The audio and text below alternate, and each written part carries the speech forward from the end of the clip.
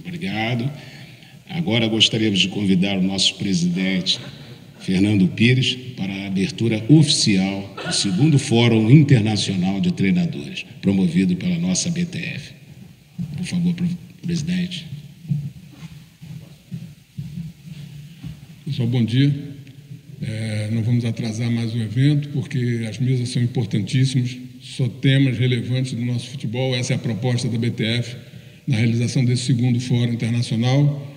São profissionais de elevado nível que vão passar por aqui, passando informação, experiências, e vai ser um bate-papo importantíssimo para desenvolvimento da nossa classe de treinadores de futebol. Porque nós vamos, é um lema que eu digo assim: fala quem sabe, ouve quem tem juízo. Então, estamos trazendo aí pessoal da análise de desempenho, direito esportivo, fisiologia, fisioterapia, arbitragem. Vocês vão ter as informações mais importantes que tem para o desenvolvimento da carreira de cada um de vocês. Então, é um esforço muito grande da BTF realizar esse segundo fórum e eu quero sempre colocar as coisas que nós vamos conquistando. É, pela primeira vez nesses últimos tempos, tive uma mensagem, eu já comentei isso com algumas pessoas mais próximas, do presidente da CBF, Edinaldo Rodrigues, que desejando sucesso ao nosso fórum, isso para a gente foi um passo importante. É, às vezes são detalhes, assim, são situações pequenininhas, mas que para a gente tem um, uma representatividade muito grande. Ele desejando sucesso e se desculpando que não está aqui presente por, pelos dois jogos da seleção, essa qualify aí da Copa do Mundo. E eu posso dizer também que nós vamos ter aqui a presença do coordenador, novo coordenador da CBF Academy, Ricardo Matias, que também é um outro passo importante para a BTF nessa luta pela capacitação e melhor da qualidade dos nossos profissionais. Isso para a gente é significativo e a gente tem que ressaltar. Agradecer a presença do representante do deputado Cláudio Caiado, que está aqui conosco, o Fábio, e é uma pessoa importante nessa nesse espaço que a gente conseguiu aqui no, no Teatro de Câmara na Cidade das Artes. É um lugar de excelência. A gente está fazendo força, quem sabe a gente no próximo ano, em vez de estar aqui, vai estar na grande sala com 1.200 lugares. A gente pensa grande e é por isso que eu estou aí. A gente vai malhando, vai malhando, mas a gente consegue. E com a ajuda de vocês, tá bom? Então, Márcio, agradecer a presença de vocês a gente não vai perder mais tempo, começando com a nossa primeira mesa. Nosso apresentador aqui. Treinador fazendo as vezes de apresentador. uh, convidamos os participantes da primeira mesa da preparação física como tema a especificidade do esforço, treino físico subjacente ao modelo de jogo. Convidamos inicialmente o mediador, professor Gustavo Marcos, por favor.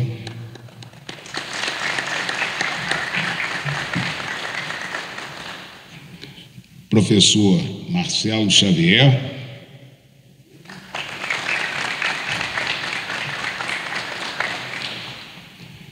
Professor Márcio Meira.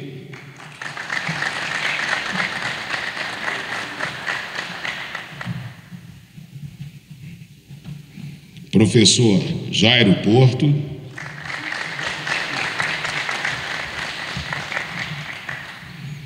e professor Wilson Toledo.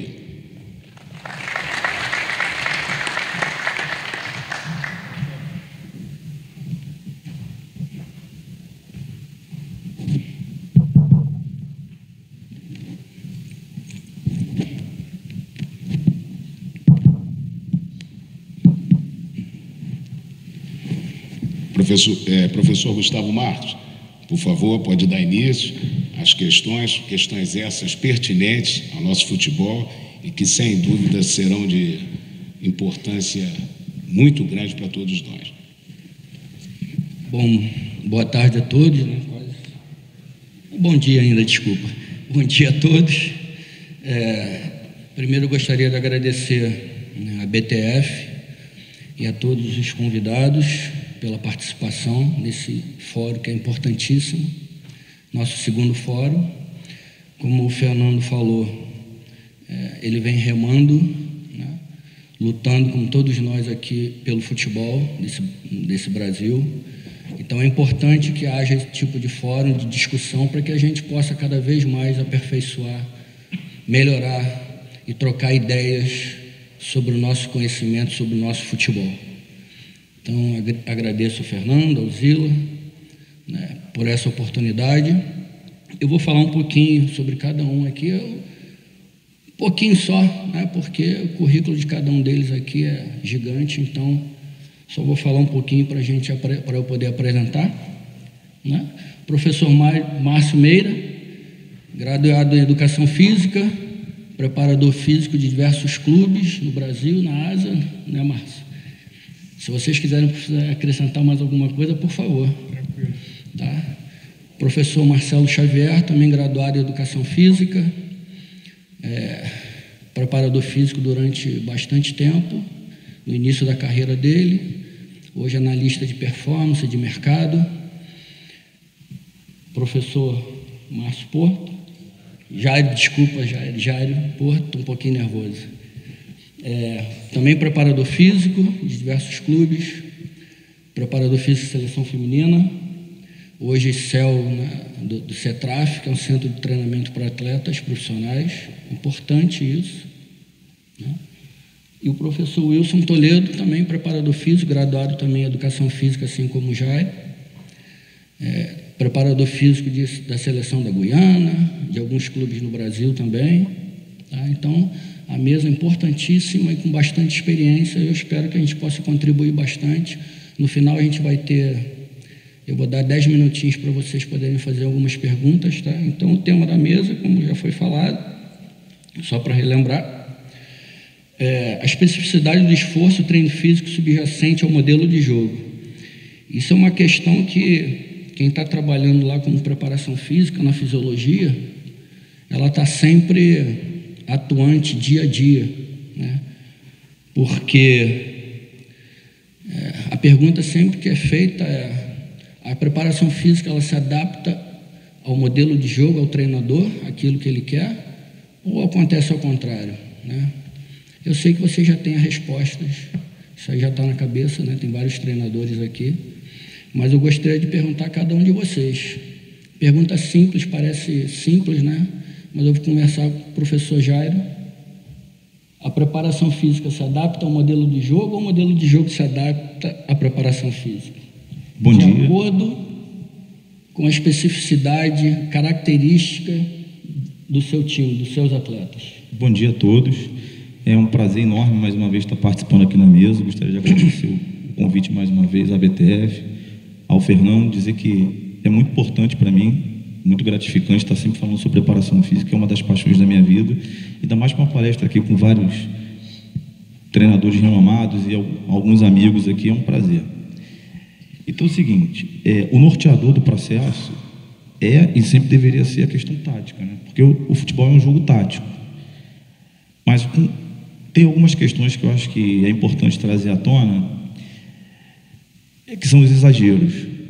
É. Então, tem alguns pontos que eu acho que a gente devia levantar em discussão, e até uma questão que eu vou deixar aqui para o Fernando, da gente depois, mais à frente, a BFDF pensar em entender da necessidade de a gente falar um pouco mais sobre preparação física, de ter um, um, uma palestra mais profunda, com mais tempo para que a gente possa dissertar de forma mais profunda alguns assuntos que muitas vezes é dito pela grande mídia de grande importância, mas se você parar para analisar, a gente fala pouco sobre isso. É, então, no meu entendimento, o norteador é tático. É, então, seria, a, no, meu, no meu entendimento, a técnica, a tática e a questão física, nessa ordem. Mas, por exemplo, hoje você ouve muito falar em sistemas complexos. É, então, se você pegar e abrir, por exemplo, no Instagram hoje, você vai ver todo mundo treinando sobre sistemas complexos. E de alguns anos, né, eu venho me dedicando paralelamente aos clubes ao meu treinamento, que é o CETRAS. E até a gente estava batendo informalmente papo aqui antes de começar, o meu N lá é muito grande. Então, um grupo mais ou menos de jogadores, a gente tem na faixa de 28 atletas, a gente atende uma média de 130, 150 jogadores mês. Isso já ao longo de muitos anos, mais de 10 anos. Então, hoje eu tenho um banco de, de dados de avaliação física, em torno de 25 mil avaliações. Então, isso me deu um N muito grande. Então, o que, que eu estou vendo hoje? É, Está difícil a gente fazer o básico e o simples. A gente está o tempo inteiro pensando no complexo. Então, eu vou trazer alguns dados aqui para vocês, para levantar a discussão, porque eu estava conversando ali com, com o Paquetá ali antes da, da gente começar. Então, todo atleta que chega lá no centro de treinamento, ele pode ser um atleta profissional amador, ele pode ter passagem em clube, em seleção, não ter jogado em lugar nenhum. Então, eles fazem uma avaliação, uma grande avaliação física, em todos os aspectos da performance. E são 100 pontos em disputa. Então, a média hoje de quem procura o serviço, ela fica entre 23 e 38. Isso me assusta. É, enquanto preparador físico, enquanto apaixonado pela performance, isso me preocupa.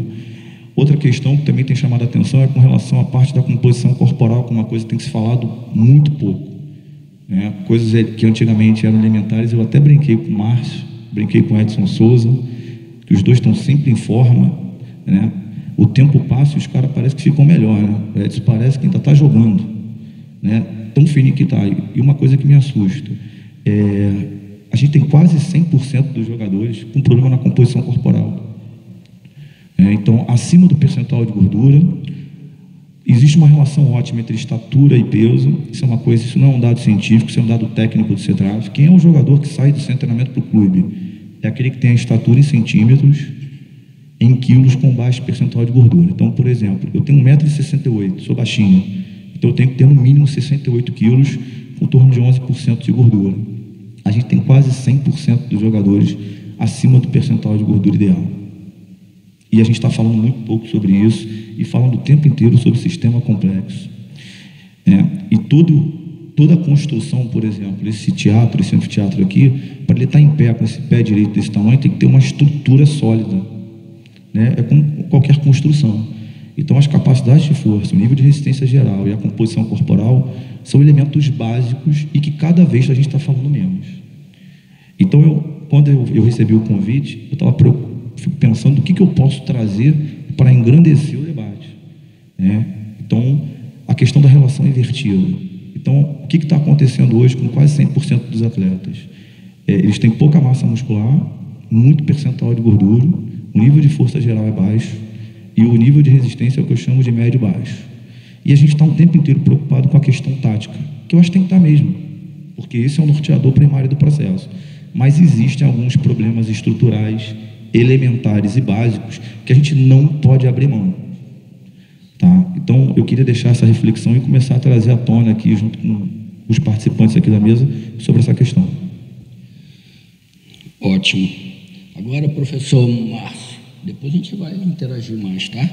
Professor Márcio, na sua experiência, é, tanto no Brasil quanto fora do Brasil, é, quase to todo ano a gente tem no final do ano, dependendo do resultado, troca de treinadores.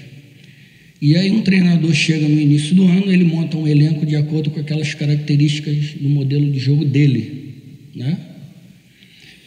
E faz três, infelizmente, né? Faz três, quatro jogos, perde no Brasil, com características diferentes. Como a preparação física vai atuar nesse momento? Você tem uma equipe com um treinador anterior que gostava de jogar no contra-ataque, você tinha uma equipe extremamente veloz, né? Muita potência, jogo muito intenso. E você vem um outro treinador que ele gosta mais de jogar defensivamente ou um outro modelo que seja mais toque de bola, não tanto contra contra-ataque. Como preparador físico é, pode se adaptar a essa questão. Isso é uma realidade nossa. Com certeza. Bom dia a todos. Um grande prazer estar com todos vocês aqui na mesa para falar sobre preparação física. Né? Tem muitos treinadores aqui. Eu, inclusive, até junto com o Marcelo, fiz a licenciada CBF. Me formei um professor, um treinador, mas eu sou um preparador físico. Eu fiz para me ajudar, para melhorar minha, minha cultura no futebol, mas a minha profissão mesmo é preparador físico. Só hoje aqui, antes de começarmos a palestra, eu já tive com o Jairo, tive com o Marcos Paquetá, tive com vários amigos conversando e já foi é, esclarecendo muita coisa, né? Como eu falei, eu sou um preparador físico, então eu acho que eu trabalhando num clube, o meu time, o meu grupo tem que estar sempre bem preparado fisicamente, independente qual é a estrutura de jogo, do modelo de jogo do treinador que está ou que vai vir ou que saiu. Não me importa. Eu acho que o nível da condição física ela tem que estar de primeira. Não importa o modelo do jogo. Aí, uma vez vindo o treinador e eu conhecendo, entendendo, conversando com ele sobre o modelo de jogo ou sobre a maneira que ele vai jogar, a gente tem que fazer algumas, é, algumas melhoras ou alguns consertos, vamos dizer assim. Né? Se vai usar com muita velocidade, é, como o Fernando Diniz tem o jogo dele de sair ali de trás, então você tem que já preparar alguma coisa. E isso aí eu acho que, se a gente for falar fisicamente, foge um pouco, porque o que, que vai mudar o, o, modelo de jogo do o exemplo do Vanderlei Luxemburgo ou do Fernando Diniz em termos de parte física. O que, que eu posso fazer com o meu time fisicamente para que ele melhore para ajudar o Fernando Diniz naquele modelo de jogo dele de sair dali? Eu não entendo isso muito como é, uma parte física. Parte física, como o Jair falou, tem que estar no peso, com percentual de gordura no nível bom, com condicionamento aeróbio, anaeróbio, tudo independente de qual é modelo de jogo. Não adianta estar mal fisicamente, porque aquele modelo de jogo ele vai, pode jogar mal fisicamente, aquele modelo de jogo permite que ele tenha 18% de gordura que não vai atrapalhar, ou que o nível de oxigênio dele seja baixo, não. Ele tem que estar muito bem fisicamente para qualquer modelo de jogo. O que vai entrar agora é, nesse novo é, modelo de trabalho é a parte, é, como que a gente chama, integrada, né? a parte física com a parte técnica. Então, eu uso muito é, no aquecimento, o modelo de jogo do, do Fernando Diniz é o mesmo que eu usei durante dois anos na Tailândia com o professor Alexandre Gama. Gosta de sair curtinho, jogando sempre, independente do adversário. Então, eu fazia nos meus aquecimentos treinamentos que eles fizessem aquela saída eu estava até hoje mesmo com o Paquetá falando, fazia um 5 contra 2, um rondo, onde ele fizesse aquela troca de, de passes com agilidade no tempo certo para poder virar o jogo e sair com um terreno mais livre. Fazia muito jogo, como eu vi também aqui no Fluminense, é, 3 contra 3 no espaço reduzido, com um golzinho pequeno, estou dando exemplos né, de treinamento onde, onde faria um zagueiro, um lateral e um volante, os dois que jogam na frente com um meia, sempre os jogadores que estão se aproximando para jogar na saída pela lateral são aqueles, lá na frente são aqueles, e que eles fizessem esse tipo de trabalho. É um trabalho físico? É, porque três contra três, num espaço reduzido, durante 20, duas séries, três séries de 20 minutos, é um bom trabalho físico. Você faz uns rondos de 5 contra 2, de dois em dois minutos trocando a regra e trocando os grupos e fazendo com que a bola não pare, é um trabalho físico.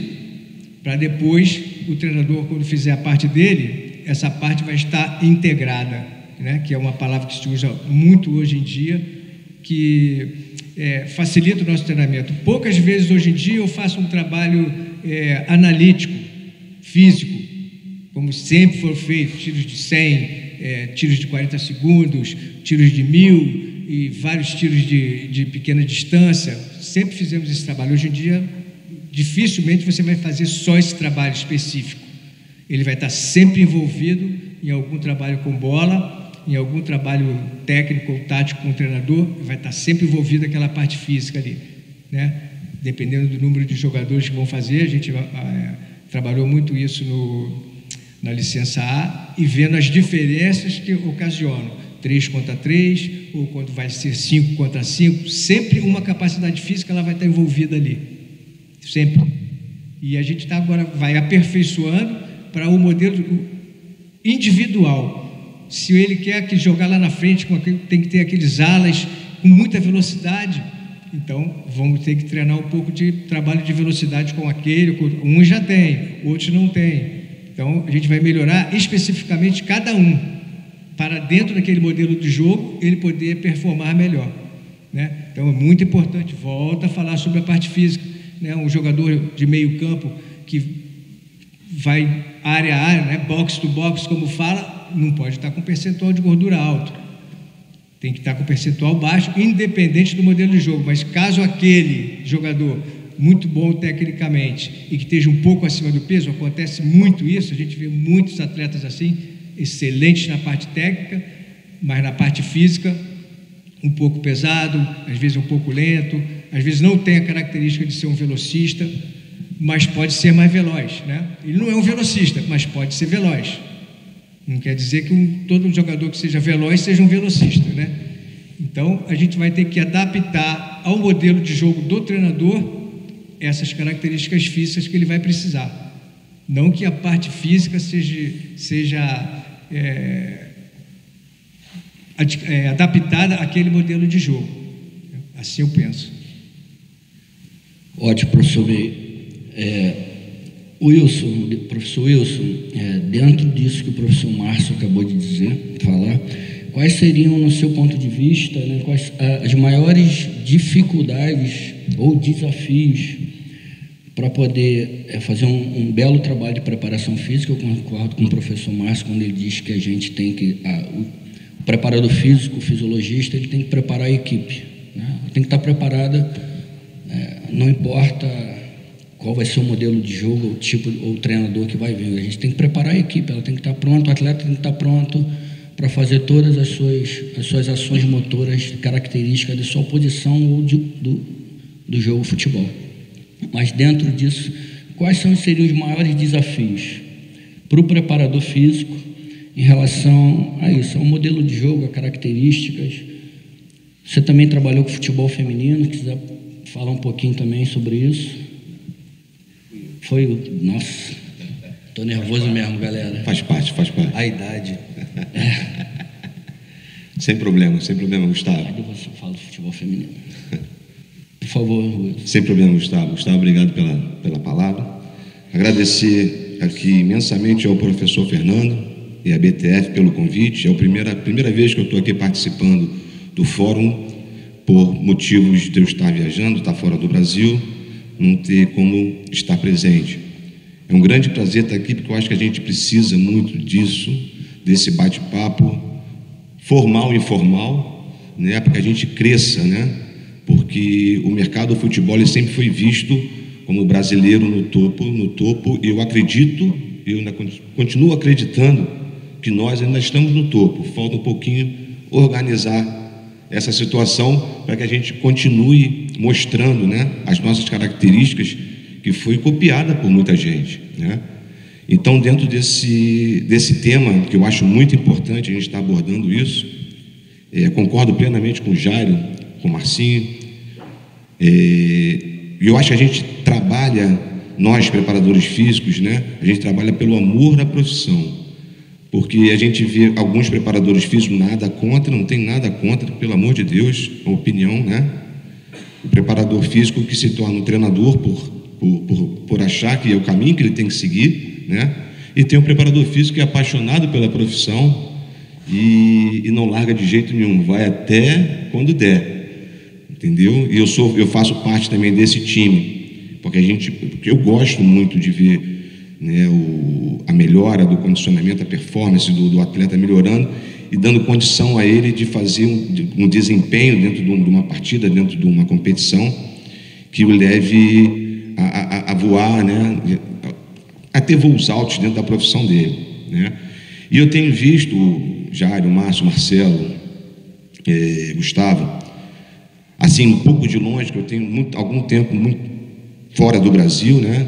mas eu tenho acompanhado as competições, a gente acompanha as competições, e o que eu vejo que perdeu um pouco da essência da preparação física, eu concordo plenamente, plenamente, gente, pelo amor de Deus, plenamente com que a gente tem que trabalhar na preparação física para poder dar ao treinador um jogador pronto para que dentro de uma competição ele desenvolva todos os níveis de performance exigida por esse treinador, sendo na parte técnica, na parte tática, né, na parte de posicionamento, na parte do desenvolvimento dele numa, numa, numa uma transição ofensiva ou defensiva, que ele vai precisar de uma velocidade ou não.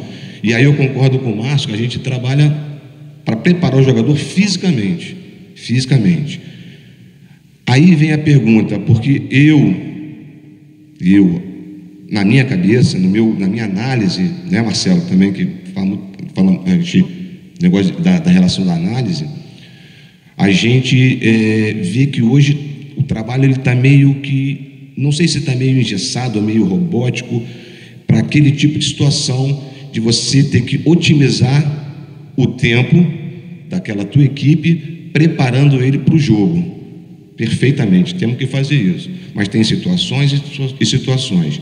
Se você está trabalhando num clube, né, que esse clube você tem competições, três, quatro competições naquele período, e que você não tem um intervalo, você não tem um intervalo de, de, de ou de, de você trabalhar alguma, alguma coisa mais específica dentro da preparação, ou a força, ou a velocidade, ou até mesmo a, a resistência, independente do que for, se você não tem esse tempo, aí sim, a gente precisa otimizar.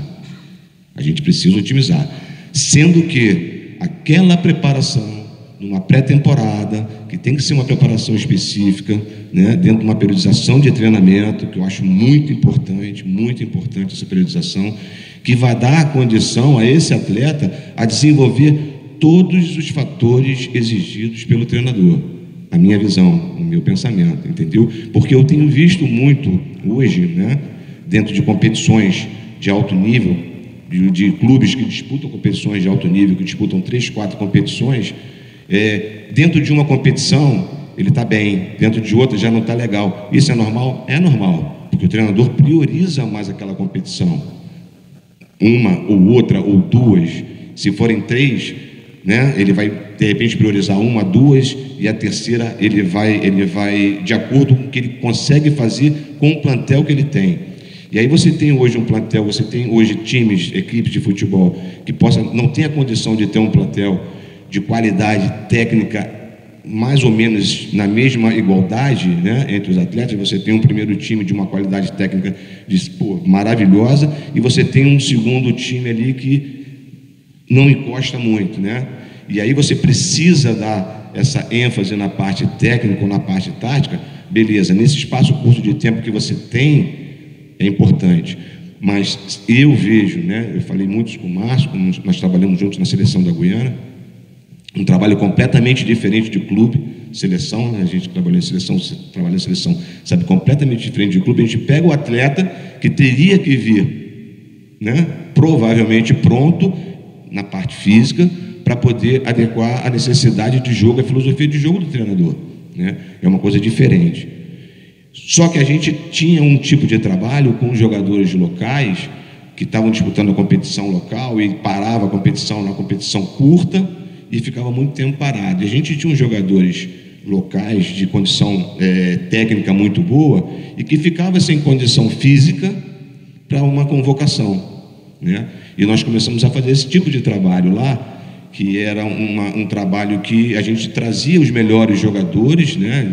Óbvio, observado pelos treinadores, pelo treinador principalmente, e pelos auxiliares, para que a gente fizesse um trabalho de quatro ou cinco vezes por semana para que para poder dar igualdade aos jogadores que não moravam no país e que vinham e que a gente também, Marcelo, isso é importante até frisar, né?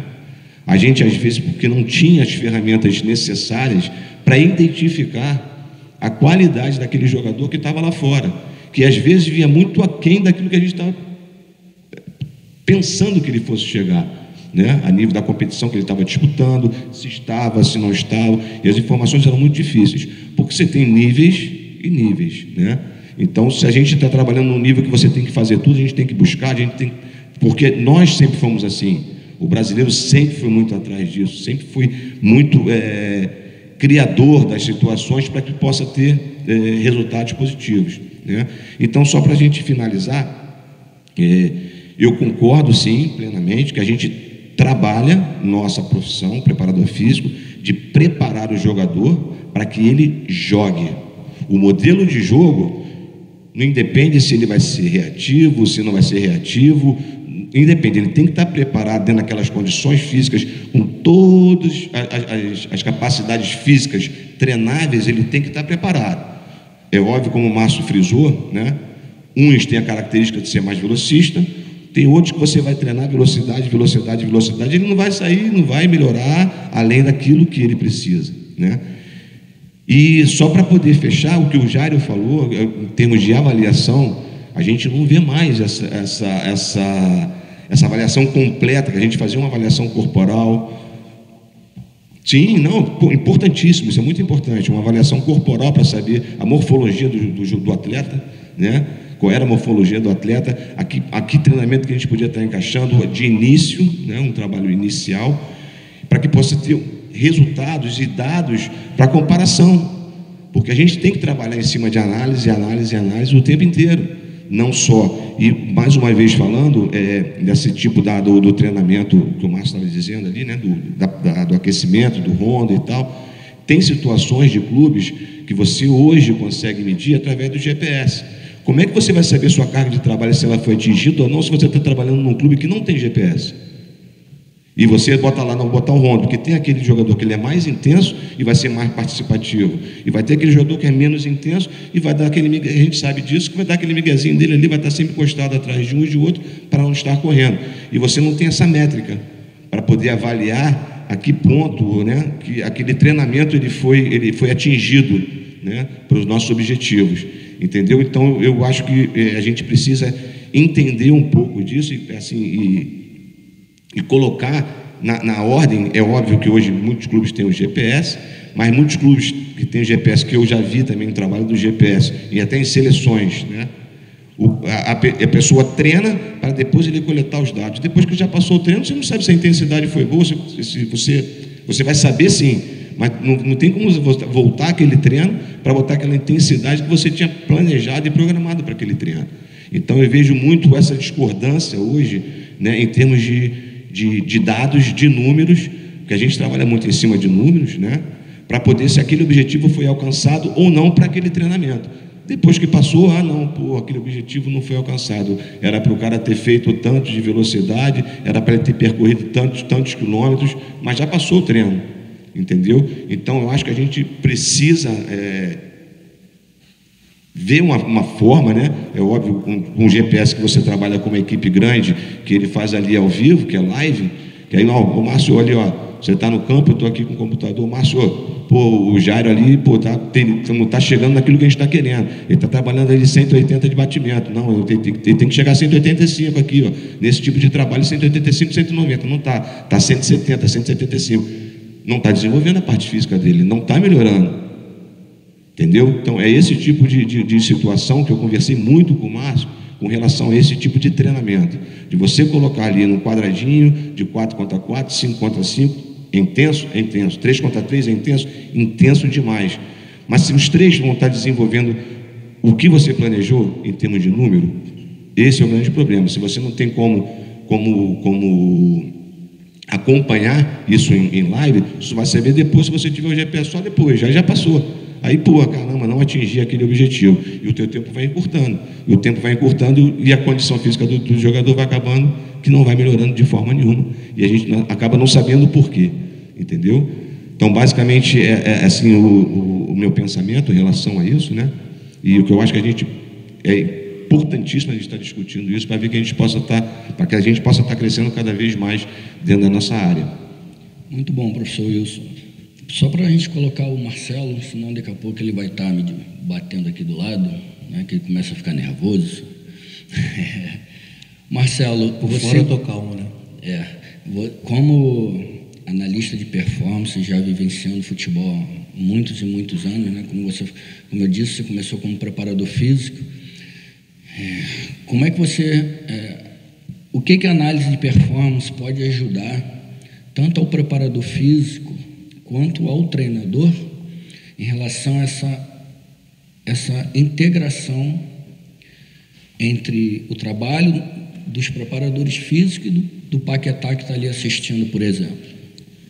Bom dia a todos. É, obrigado a BTF, obrigado Fernando Pires pelo convite, obrigado Gustavo por ter me incluído na mesa. Né?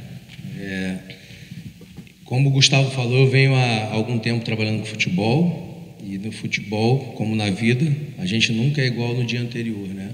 O futebol mudou. Para mim é significativo que o futebol mudou de forma substancial. os processos evoluíram e aquilo que a gente não controla, a gente não consegue avaliar. Né? E tudo hoje é avaliado, tudo hoje é mensurado. É importante a gente falar sobre uma questão transdisciplinar e como você citou o Paquetá aqui, por exemplo, aproveitando a presença aqui do amigo? Eu percebia, eu ainda estagiário no Flamengo da categoria sub-17, é, estagiário do Martorelli, né? porque à época era o preparador físico, que o Marco colocava já as condições de de ter uma relação entre um trabalho técnico dentro do aquecimento e às vezes um, um pequeno gesto, dois atletas, dois atletas saltarem juntos, chocarem com o ombro, gerar um desequilíbrio, sair, disputar a bola que seria lançada 5 metros, 10 metros à frente, já começou a trazer para mim uma relação dessa questão transdisciplinar. Então tem coisas que eu não esqueci, Marco. Assim, acho que é por isso que essa admiração vem de muito tempo. Fico feliz com a sua presença. É, a gente tem algumas questões, né? Tem, a gente tem que tomar cuidado aqui para ter um poder de síntese, mas além do, do, do que a gente fala aqui, sempre se chama muita atenção para os times principais, para os times profissionais, para a Série A, para a Premier League, etc. Mas acho que a discussão vai muito mais além. A gente deveria discutir desde categorias de formação, né, os processos de preparação física. Hoje a gente vê os controles de, de, de captação a gente tem quatro pilares para avaliar: tem um pilar técnico, tem um pilar tático, tem um pilar físico e comportamental. E aí, nessa proporcionalidade, cada um desses pilares deveria ocupar 25% de valor, ao meu ver. Mas aí, dependendo da intencionalidade do processo, o pilar pode ter peso maior ou menor do que o outro. Então, alguns vão tender a ter uma compreensão mais voltada para a capacidade técnica e outros mais voltados para a competência física. Em geral, são esses os pilares que as pessoas acabam chamando mais atenção.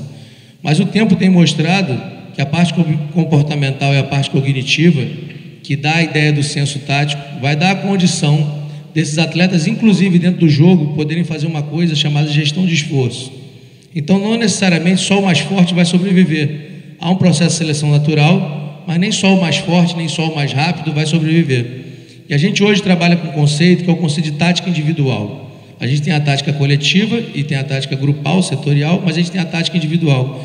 Então, muitas vezes, uma ação de um atleta vai fazer com que a sua equipe, taticamente, uma ação tática individual, vai fazer com que a sua equipe, taticamente, acabe gerando um esforço menor, né? Tendo, ah, quem correu mais, quem correu menos.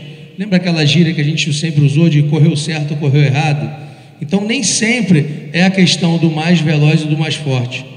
Mas o nível de força é tão importante, tão importante, que hoje a coisa mudou tanto que os trabalhos regenerativos não são mais em nível de trote, são em trabalhos de força. Então, o cara acaba a atividade de alta intensidade, que é o jogo, e vai para a academia fazer força.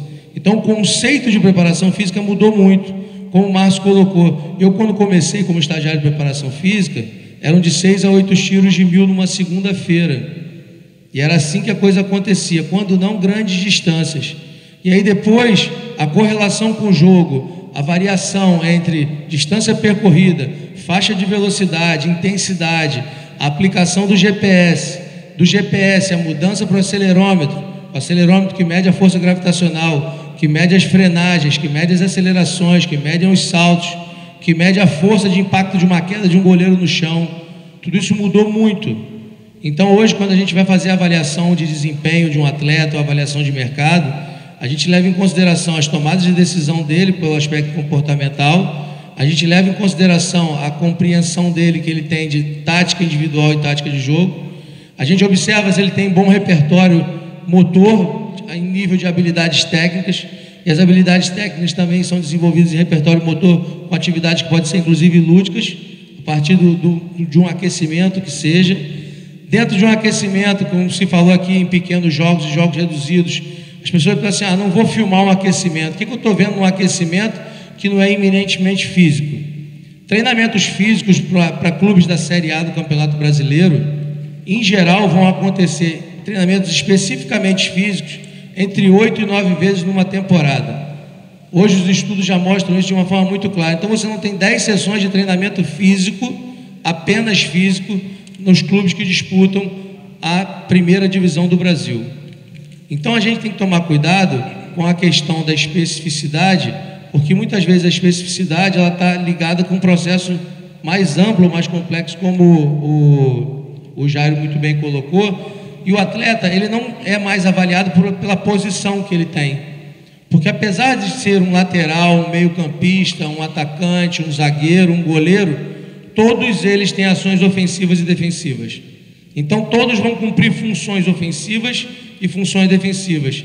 E para isso tem que estar bem fisicamente. Então, não é meramente a composição corporal, não é meramente o nível de força, é a integração de todos esses dados, todos esses processos. E a gente, quando começa a trabalhar com análise de dados, né, a gente começa fazendo análise de desempenho, da análise de desempenho a gente vai para análise de mercado, para escolher os atletas para montar um elenco. Inclusive, é uma coisa legal que, o, que a abordagem que o Márcio recebeu aqui do, do Gustavo, que é o seguinte: chega um treinador, o treinador vai e indica quatro nomes, quatro atletas que ele acha interessante, comprou para montar o seu time base. Mas esse treinador, depois de quatro rodadas, ou de quatro jogos, ou de um mês, ou de dois meses, treinadores em média no máximo ficam no Brasil três meses num clube. Então o clube muitas vezes vai ter quatro treinadores numa temporada. Você imagina se cada treinador que chega trouxesse cinco atletas. Ao final de uma temporada do time inicial, você já vai ter mais 20 atletas no elenco que tem composição corporal diferente, especificidade de treinamento diferente, ou seja, qual é a ambiência que você cria para treinar esses atletas. Então, o primeiro passo talvez seja olhar para dentro do clube e entender quais estruturas você tem para controlar a carga de treinamento, fazer o treinamento regenerativo de uma forma adequada e dar ao, ao, treinador os atletas nas melhores condições de desenvolver as suas funções. As suas funções, lembrando, são funções de ordem ofensiva e de ordem defensiva, independente da posição. Além disso, situações de aplicação tática, como foi falado do modelo de jogo, às vezes num treinamento de bola parada, você entender qual o atleta que acelera melhor para poder atacar a bola na primeira trave, ou ficar no rebote para puxar o contra-ataque. Quais são os atletas que têm melhor relação de impulsão vertical com contato com a bola? Porque saltar alto, todo mundo pode saltar, até sapo pula, né? Sapo nem salta, pula. Mas chegar mais alto, quem vai chegar? Mas qual é a relação de tempo com a bola que esse atleta tem?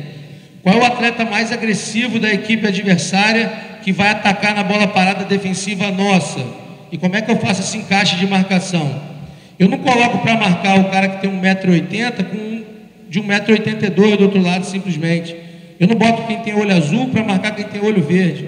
Os critérios não são a cor do olho, o tamanho da chuteira, o nível de, de, de, de, de compreensão tem que ser um pouco mais amplo.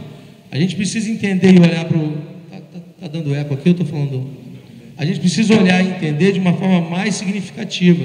Na hora que você vai fazer um pareamento de marcação dentro de uma bola parada, a gente tem que conversar com o departamento de preparação física, tem que conversar com a fisiologia, para entender que estratégia a gente vai usar quando a gente coloca os 11 iniciais em campo e principalmente você tem uma estratégia de definição de marcação ou mesmo de contra-ataque.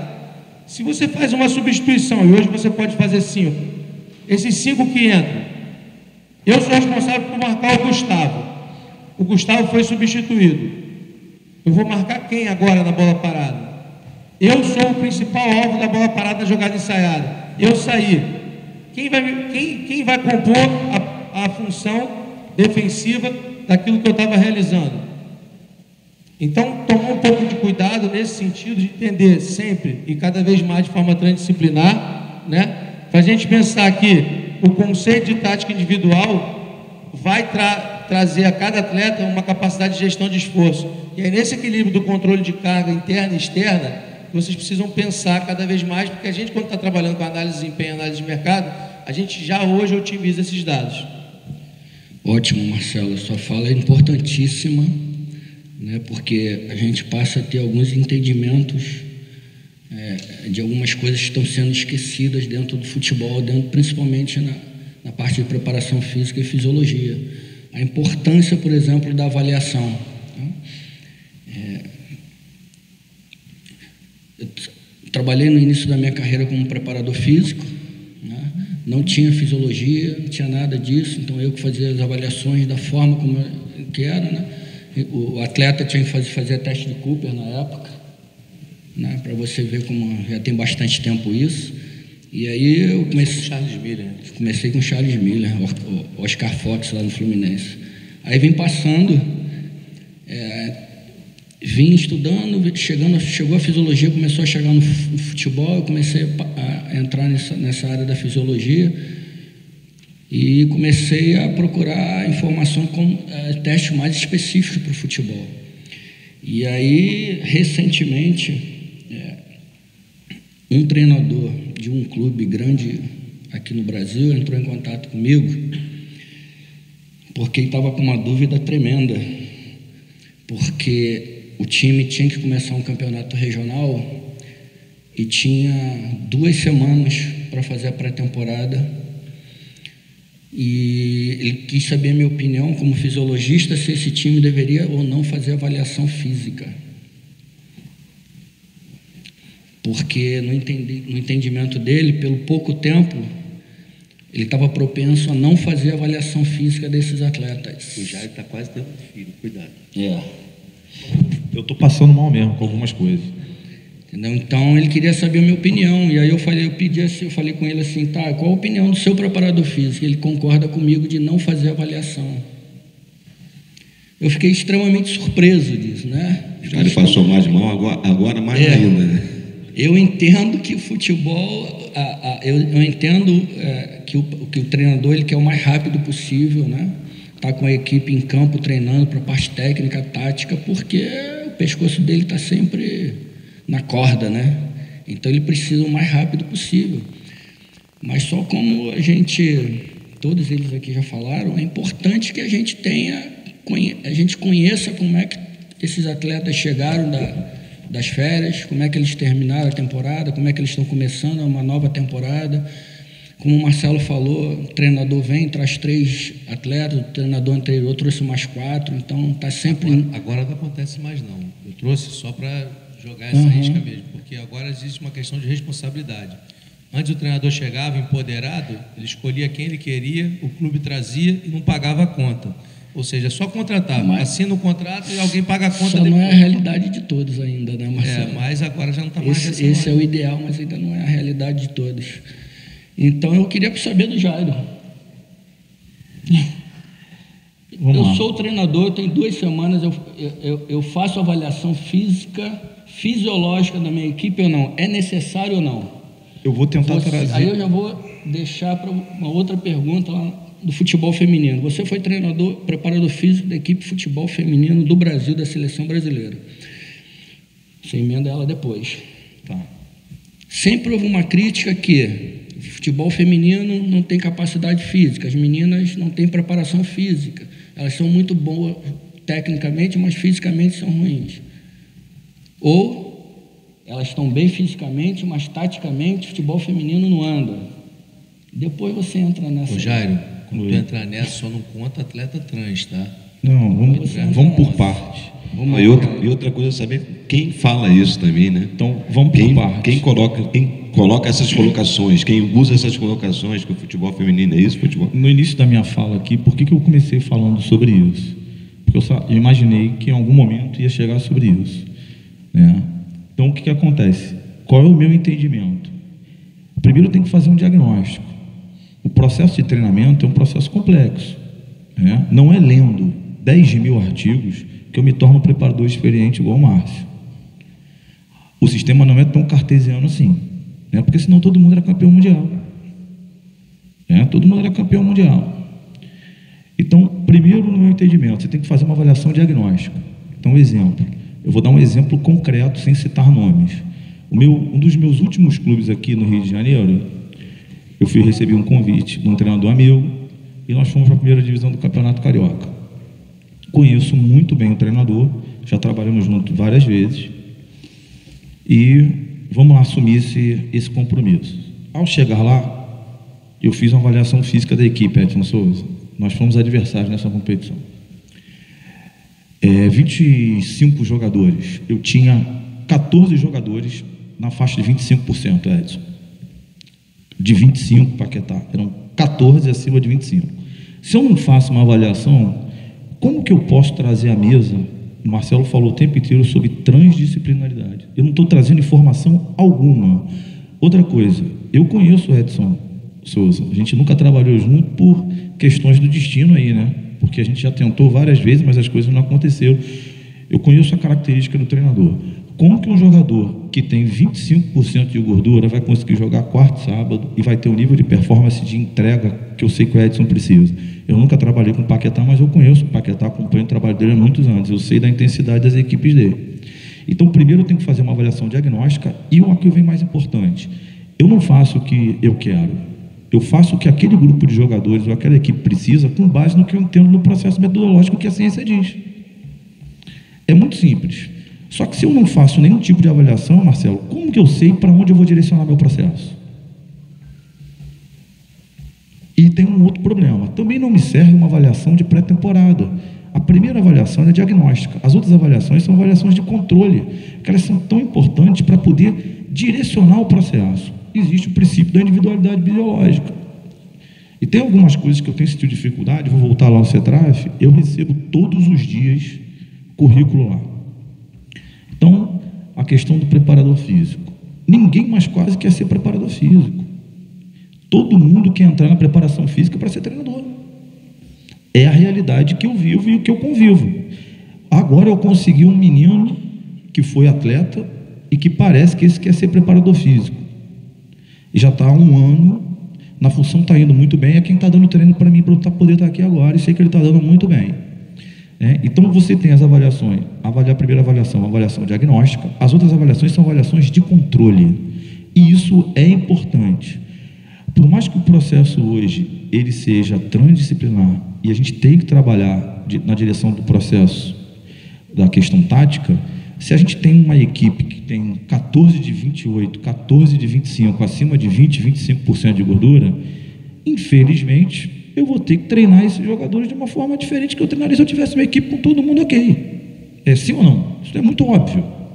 Mas eu tenho que fazer o quê? Fazer o diagnóstico. Né? Então, o que, que me preocupa, e eu trago a reflexão aqui, se a gente também não está passando do ponto em alguns momentos de não treinar nada, Marcelo. Então, quando você chega para mim, por exemplo, eu tenho uma preocupação que eu faço treino teste e faço as avaliações periódicas ao longo da temporada. Claro que depende da competição, depende do treinador, depende de uma série de circunstâncias. Jairo, Mas eu faço só um minutinho, Jairo, perdão, assim, o que eu chamo de intervenção pontual. Desculpa te interromper, você falou de não treinar nada. É, estou falando nada com relação à parte física. O que, que eu tenho. Porque eu, como eu sou um apaixonado pelo negócio, eu converso com muitos amigos. Então, para você acabou de trazer aqui a discussão. O próprio preparador físico da equipe estava dizendo que não via importância de se fazer uma avaliação diagnóstica. E isso é muito grave. Porque para onde está direcionado esse processo, Marcelo? Aquela história. Quando eu não sei para onde eu quero ir, qualquer lugar serve. E se eu não faço avaliação de controle, o que eu chamo de intervenção pontual, isso me preocupa. Então, ao longo de uma temporada, de muitos jogos, ou de cinco competições, ou de duas, ou de uma, seja lá o que for, se eu não fizer a intervenção pontual, a gente está negligenciando alguns pontos da performance de extrema importância, como, por exemplo, o princípio da reversibilidade. O que, que o princípio da reversibilidade diz? Que todo estímulo não treinado, é, não treinado ele se dissipa. Então, por exemplo, o Edson Souza, lá, meu amigo, o Edson sempre foi um cara que correu, sempre foi magrinho e fininho. Se o Edson parar de correr, ele vai destreinar do ponto de vista da corrida. Então, eu acho que a gente precisa encontrar uma maneira ótima de fazer o que eu chamo de intervenção pontual, entendeu, Marcelo? Então, o que, que eu faço? Por exemplo, a gente hoje está muito em moda a questão do GPS. Né? Tá, o GPS, ele não é uma ferramenta hoje acessível a todo mundo. Ele é uma, uma, uma ferramenta acessível a poucos. Mas, por exemplo, eu particularmente prefiro, prefiro um controle de carga interna. Se eu tiver que optar, se eu puder ter os dois, eu quero ter os dois. Quanto mais controle, quanto mais número eu tiver, melhor. Por quê? Porque eu vou otimizar os meus processos. Agora, não avaliar, eu acho que é vulgarizar o processo de treinamento. E, em alguns momentos, deixar de treinar. E aí eu volto lá. Eu pergunto para os meninos, quando eu escuto, ah, mas porque a gente não tem mais treino físico? Eu falo, mas por quê? Aí as respostas são as mais variadas possíveis. Eu falo, você sabe qual, é quais são os princípios do treinamento? Não. Você sabe o que, diz o princípio da reversibilidade, Márcio? Não. Então, por exemplo, o que, que eu faço? Eu entendo onde eu estou, entendo que é um atleta que eu tenho, quais são as necessidades e as características e vou ser o mais assertivo e pontual possível. Para finalizar, eu tive três experiências marcantes na minha carreira. Foi ter dirigido a seleção feminina, que foi vice-campeã do mundo em 2007, ter ido para a Coreia do Sul, onde nós ganhamos a Champions League da Ásia, fomos ao Mundial de Clube, e ter ido para a África. Então eu peguei situações completamente diferentes. E depois disso eu peguei sete clubes caindo de divisão. Vamos falar só dos clubes caindo de divisão? Todos eles tinham problema de preparação física, Marcelo. Tinham vários outros problemas, não era só isso, mas tinha um sério problema de preparação física. Se eu não tivesse feito nenhum diagnóstico, como é que eu ia direcionar o processo? Como é que eu, como é que eu ia orientar meu treinador? Ah, o meu treinador, é, ele quer jogar de forma reativa, ele quer marcar lá do outro gol. Aí eu falo para ele o seguinte, ó, meu time está acima do peso, o VO2 é de lagartixa. Como que faz isso? Ó, não tem condição de fazer, eu tenho que passar a informação ao treinador. Ah, mas eu quero fazer. O treinador, o chefe da comissão técnica, fica à vontade, mas eu fiz o meu papel, passei a informação e disse: hoje nós não temos a condição de fazer isso, vamos treinar para que possa chegar a esse ponto. E para finalizar, vou tentar ser breve. Com relação à seleção feminina, ou futebol feminino no caso, tirando a questão do preconceito, tem muita gente que fala que não gosta sem ver. É igual minha filha. Você, Isabelle, você gosta? Não gosto. Mas você já provou? Não, nunca provei. Então você não pode dizer que você não gosta, minha filha. Experimenta. Então, vai ver. Agora, com relação à questão física, existe uma diferença fisiológica básica entre homem e mulher, e também existe um problema de preparação física, sim. Hormonal também, né? Mas existe um problema de preparação física, sim. Ela tente, é só você verificar. Por exemplo, eu fui assistir a final da, da Série A2. Né? Sei citar o nome das equipes mas tinham duas jogadoras com extremo sobrepeso. Essa equipe perdeu de 4 a 0 no primeiro tempo. Marcelo, as duas jogadoras, invariavelmente, não voltaram para o segundo tempo. Eu conheço o Edson. Eu duvido que o Edson vai botar dois jogadores obesos no meio campo dele. Porque a classificação da é de obesidade. A realidade do futebol feminino é muito diferente, né, em nível estrutural. E tem uma, tem uma situação também que eu acho que a gente tem que olhar. Sim, e tem, gente que olhar o seguinte: as mulheres competem entre si, entre mulheres. Então a falha não está em ser mulher ou ser homem no, no processo.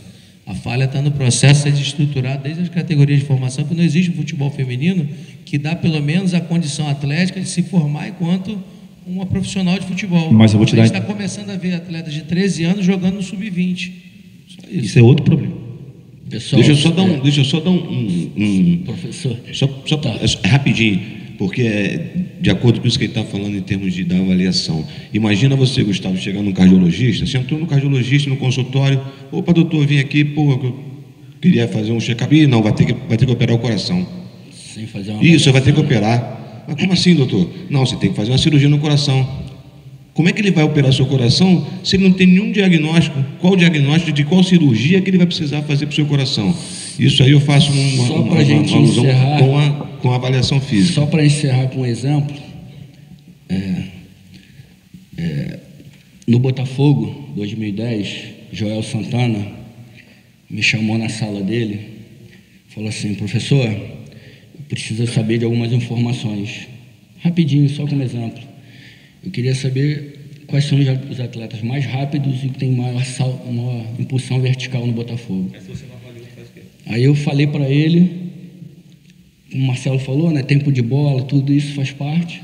Ele montou, passou a montar uma jogada no Botafogo. Esse atleta que era no zagueiro passou a fazer vários gols de cabeça. Porque ele tinha uma avaliação, ele colocou esse jogador. Mas se você não tem essa informação prévia, como você passa isso ao treinador? Que eu acho que é a nossa função. O preparador físico, ele é um auxiliar do treinador. Não necessariamente um auxiliar da questão tática, ele é um auxiliar do processo. Pessoal, muito obrigado. É, esse assunto a gente poderia ficar aí amanhã toda, a tarde toda, né? Mas a gente já passou da hora. Ô, Márcio anotou um monte de coisa para falar. É, eu imagino, Márcio. A gente, eu, ah, fi, fi, o Fernando já está aqui, já vamos cobrar dele próximo para a gente ter uma mais tempo que a preparação física e fisiologia. A gente tem muita coisa para conversar, né? Essa interação. Gostaria de ter um treinador também aqui, o Paquetá, o Alexandre também poderia estar aqui para a gente estar discutindo isso, seria importantíssimo, mas fica para o ano que vem a sugestão. É, gostaria de agradecer ao Márcio, ao Marcelo, ao Jairo, ao Wilson pela participação e a todos. Eu falei para vocês que a gente teria uma pergunta, né, mas não vai dar tempo. Gostaria de convidar vocês para a próxima mesa, o momento do futebol brasileiro na visão dos profissionais da mídia esportiva. Muito obrigado a todos.